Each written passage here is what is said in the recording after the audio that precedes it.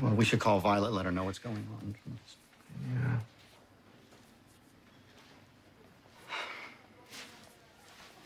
You women who use cocaine are at greater risk than the rest of the population for all sorts of complications. You know, there's placental abruption. Uh, Why do you know that? I did a lot of research after Amelia told me she was pregnant. It was my way of being supportive. Not that she wants my support anymore. It was Oxy. What? Amelia's drug of choice. She was doing Oxy, not cocaine. So? So maybe everything will turn out all right. Well, sure, because Oxy's like a prenatal vitamin. Prenatal.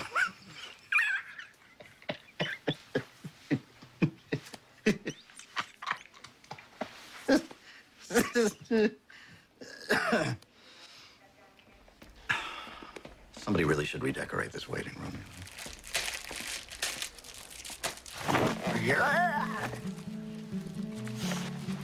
I'm sorry you have to be here. I don't mind.